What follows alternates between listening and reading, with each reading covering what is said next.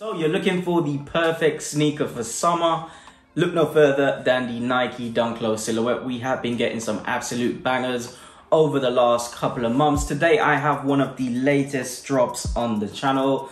This is the Nike Dunk Low in the coconut milk colorway. These are pretty nice, a lot better in hand. Check these out.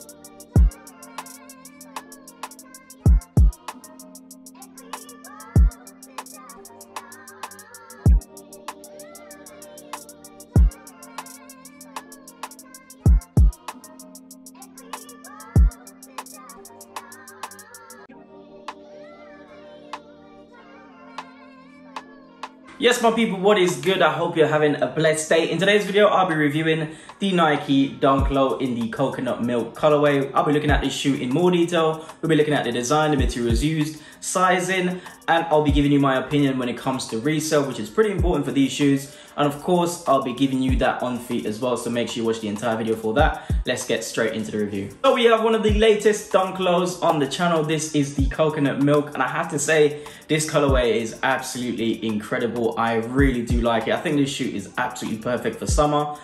And it was a very unexpected shoe in my opinion. So I actually saw these sneakers on the Nike app and I really didn't think too much of them as it's a Dunk Low. I always like to grab and get myself a pair of Dunk Lows whenever they drop.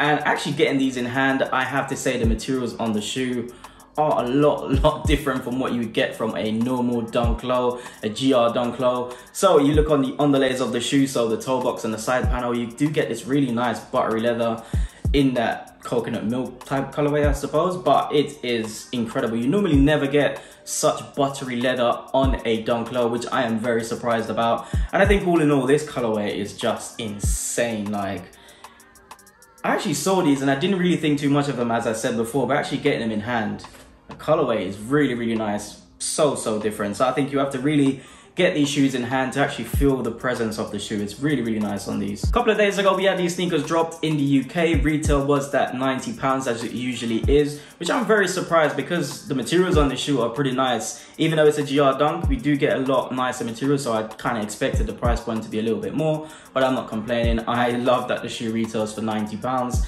And as I said before, I grabbed my pair as I always do from the Nike app, I always seem to grab a pair of dunks from there, so I'm not complaining. I did see these drop at quite a few other retailers as well. I did see these drop at End, I believe Size. Foot Patrol had these as well. I can't remember if they actually did, but quite a few other retailers had the shoe. Um, so it doesn't really strike me as a shoe that's exclusive and really, really limited. But I still think it's a solid, solid release, a really, really nice shoe. And I think that 89 pounds, 90 pound price point, really nice, really, really justified on this.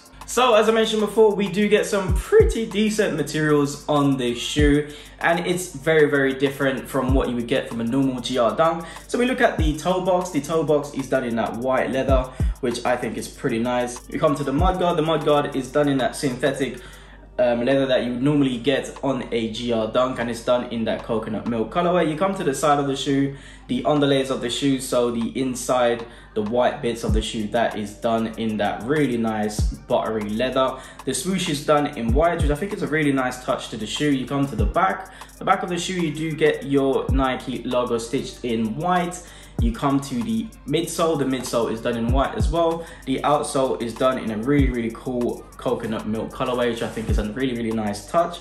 You come to the laces, you do get your nice white laces, the same laces as you would get from the GR Dunks. You take a look at the tongue, the tongue is done in white. You do get your Nike logo stitched in on the tab there and that's also done in white. The insole of the shoe has a very, very cool coconut milk color as well which I think is very nice, same as the sock liner. And I think all in all, this shoe is absolutely perfect for summer. I think when the sun hits the shoe, it's gonna be pretty nice. When it comes to sizing, I always suggest going true to size when it comes to a Nike Dunk Low or a Nike Dunk High, a Jordan 1 Mid, a Jordan 1 High, anything Nike related, go true to size and they fit absolutely perfect. I went true to size on these because I think the materials on this will definitely hold up. So I don't really think I'll need a crease protector in this, not just yet anyway, but I went through to size and they fit absolutely perfect. So if you're usually a UK 7, go for a UK 7 and you should be fine with these. So that brings us on to resale and for these shoes, I do expect a slight increase in the value of these shoes over time, especially in the next couple of months.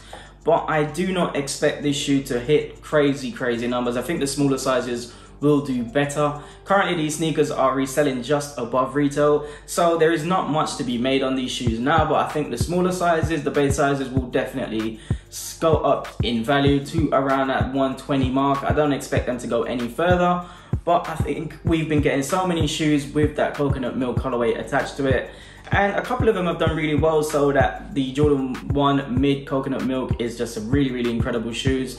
And the, the, good thing is when we do get a coconut milk colorway the materials do really hit different as well. We do get some really nice materials on them. But for this shoe not a shoe I would personally invest in. This is one I wanted to grab just to see if I could review it and see what it would look like in my personal collection of dunks. But I really really like it. Really really nice shoe. I'm not sure if I'm going to keep it per se but I think is a really nice shoe for the collection.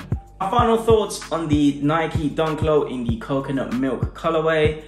I think it's a really, really cool shoe. I think the colorway is just insane. The materials are very unexpected, very nice, especially on the underlays of the shoe, so the toe box and the side panel. But I just think the colorway on this is just amazing. So this is a shoe for me is 100% must cop. And I reckon you can get these for a really good price as well on the secondary market if you miss the drop. You ain't gonna be breaking the bank to buy a pair of these which is I think is a very very good thing as well. So for me 100% must cop. Yes my people that is it for the video. I hope you enjoyed it and found the information useful. As always if you haven't already remember to hit that subscribe button below and hit the bell so you don't miss any of my uploads. And if you haven't already remember to hit me on Instagram. The handle is here. And I'll be dropping the on feet now. So Check them out. For the on feet, I'm rocking some basic black jogging bottoms from H&M. I'm rocking the Suhv'ir and Co tan colorway sock, which you can find on their website. I'll leave a link in the description and use my code below for 10% off your first purchase. And of course, I'm rocking the coconut milk dunk low. Check them out.